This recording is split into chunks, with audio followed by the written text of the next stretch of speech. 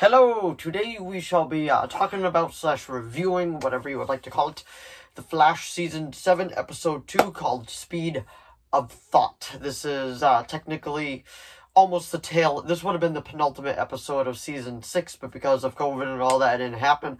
So anyway, we're getting it in Season 7. But anyway, without further ado, shall we begin? So we're going to be up. I'm down here. That's better. But anyway, like I was saying, we're going to be talking about uh, Season 7, Episode 2, Speed of Thought. This was a really good episode. I really did enjoy it. The uh, first half of this will be spoiler-free, then the second half will be spoilers. I will put out a spoiler warning once the spoilers arrive. But anyway, this episode starts off with um, pretty much a Wells memorial because in the last episode, spoiler alert for the last episode, but if you haven't seen it while you're watching this video. But pretty much we found out that Wells, uh, pretty much every version of the Wells died so that Barry could, uh, have the speed from the artificial speed force because it needed a, uh, like I believe it was a, like a actual physical conductor, human conductor because of the particles in his body. I actually haven't written down what it's called, but I can't remember. But anyway, pretty much, uh, we have flashbacks of all the different versions of Wells that we had. We had Nash, obviously Nash, he was the main one of the last season. Harry, HR, uh, one of the other, one of the OG Wells. Pretty much all the Wells that we come to know over the years and all that. And, uh, too bad, uh, Gandalf, uh, Wells the Grey didn't make an appearance. That would have been funny, but I know that they wanted to keep it a serious tone. But anyway, there we find out that there's actually a room full of artifacts within, like, their memorial area. And we saw, like, different objects from everybody that they lost along the way, so I thought that was pretty cool. And then uh, at the end of it, Joe's like, "Do not bury yourself. Uh, do not, do not blame yourself. This was not your fault. Do not do it because I know what you're doing. Don't." Which I thought that was good. And nice to see Joe doing some more stuff too, since I believe it was uh, season five he hurt his back, like the actor Jesse L. Martin, and uh, he always just had to uh, like sit like this whenever there was a scene with him. He was always just sitting and he was like, okay. So, like, it was just cool to see him back at it again. And I heard that he's to have a, like, a centric episode to himself this, uh, this season as well. So that should be cool. And pretty much, like, uh, Barry is pretty much saying, like, he's like, my heart is my greatest weakness. The, my villains always, always use it against me. And honestly, uh, pay attention to that line because it comes back to play within this episode big, very, very largely. And uh, we find out that Iris actually sent a message through the Mirrorverse uh, because she's starting to actually gain power within the Mirrorverse because she's still stuck in the Mirrorverse.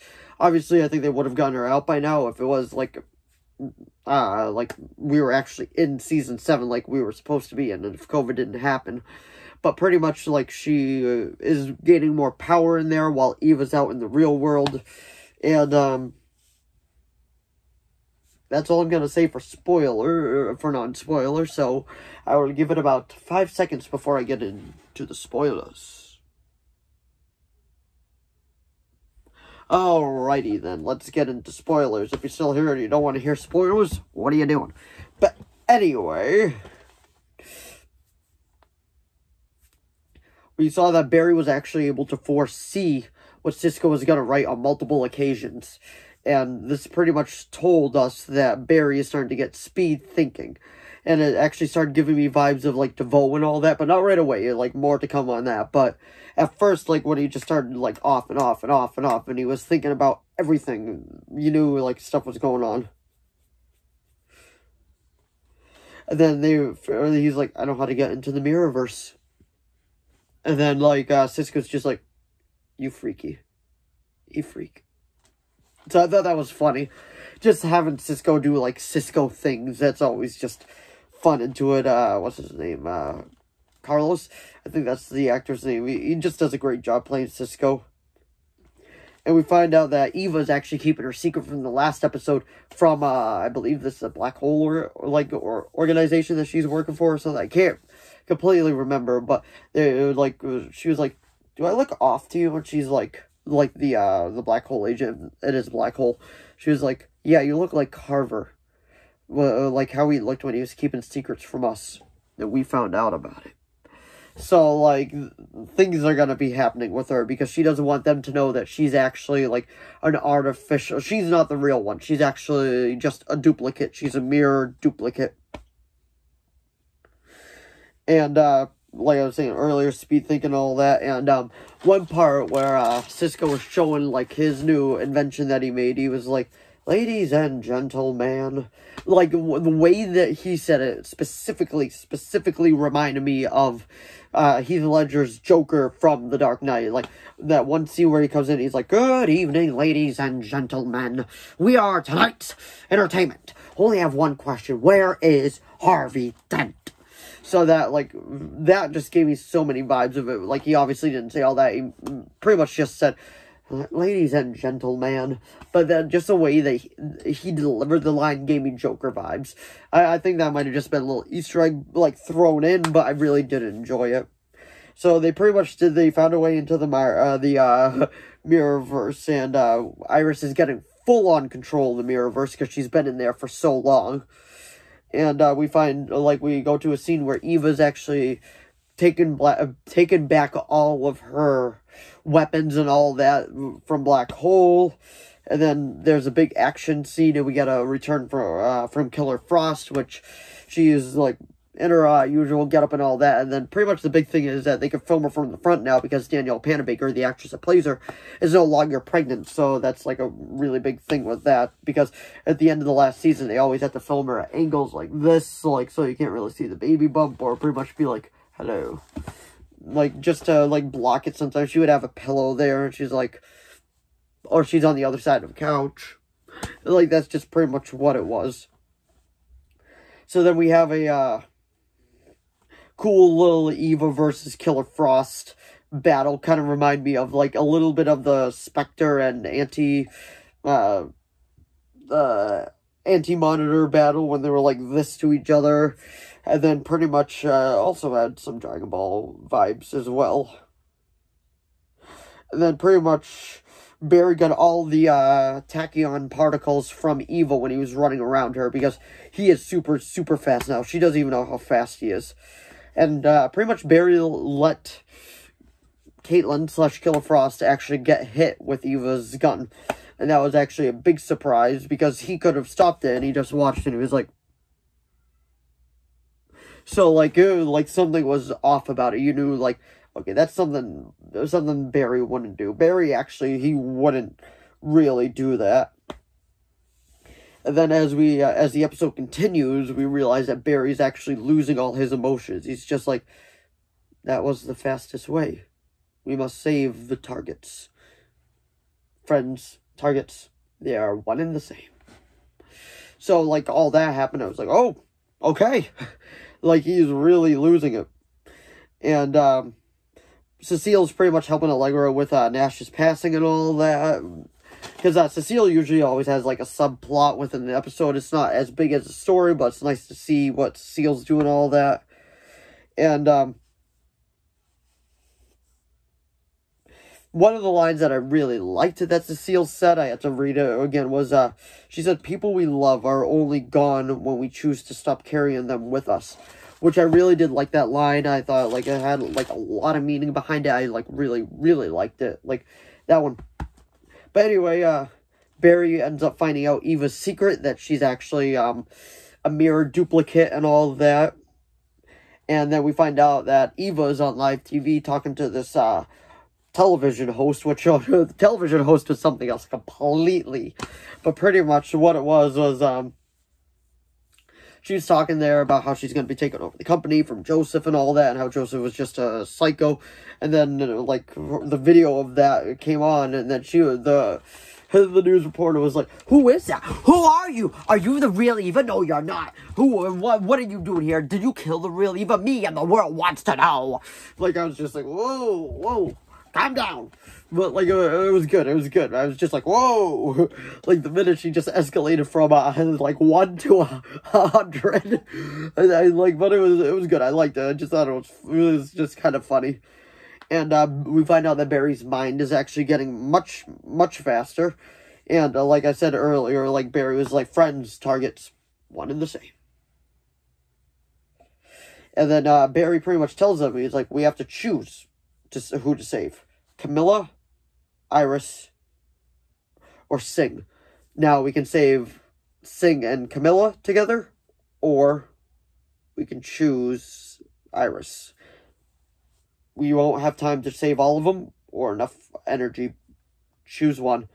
And then they put it up to a vote, and then uh, Cisco chose for... Uh, Singh and Kamilla because Kamilla's his girlfriend, while Barry was like Iris. So it was like a like was, tensions were high in that scene, and then after that the camera was like, Whew. and then we found out that it was actually Barry just running a hypothesis pretty much in his head, and he was like, you know what? No, I'm gonna do this on my own because I've already see how this turns out, and that is a no go from me. And then behind everybody's back, I, uh, Barry is like, I am choosing to save Iris.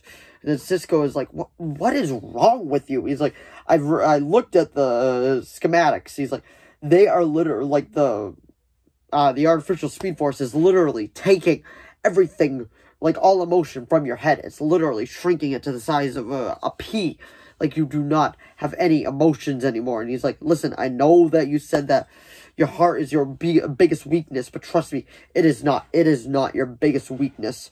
And then Barry is like, I'm not choosing Kamilla and Singh because they're not my wife. I'm not choosing Iris because she's my wife. She knows how to defeat Eva. She knows the most about Eva.